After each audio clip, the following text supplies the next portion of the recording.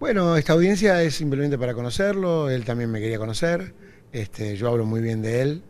Eh, este, y además eh, tenemos la posibilidad que a lo mejor esta noche, con suerte, él pueda participar de este evento un evento que recién comienza eh, con estas canciones que vamos a hacer juntos, pero que vamos a dar una vuelta de rosca como para volver a hacer más conciertos en Uruguay y algunos en Argentina, Córdoba y Rosario, con la Murga Agarrate Catalina, que tenemos mucho que ver, tenemos mucha sintonía en lo que ellos hablan y lo que hablo yo con mis letras, ¿no?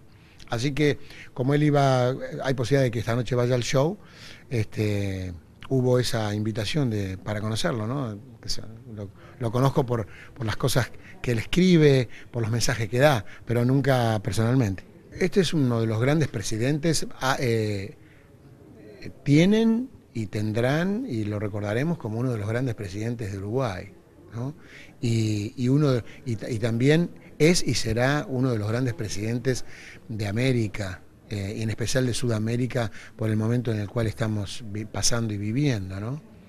Eh, él tiene un alto contenido de dignidad, eh, de preocupación por la gente que ha sido siempre postergada, este, un luchador y fundamentalmente tiene una, una voluntad política increíble. ¿no? Así que vine a ver una persona realmente distinguida.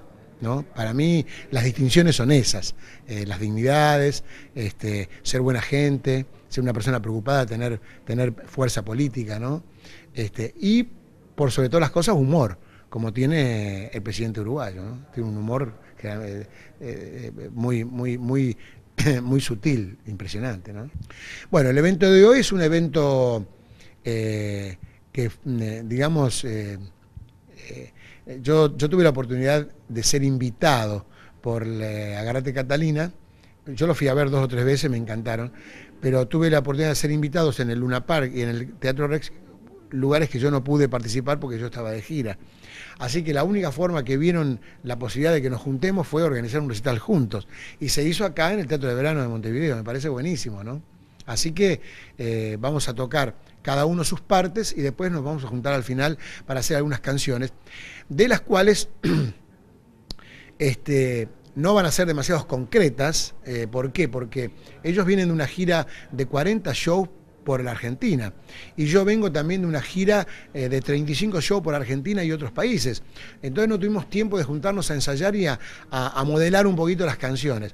Pero es un buen comienzo como para darle una vuelta de rosca ¿no? y armar un concierto enorme que vamos a repetir acá en Montevideo y vamos a repetirlo también en Argentina.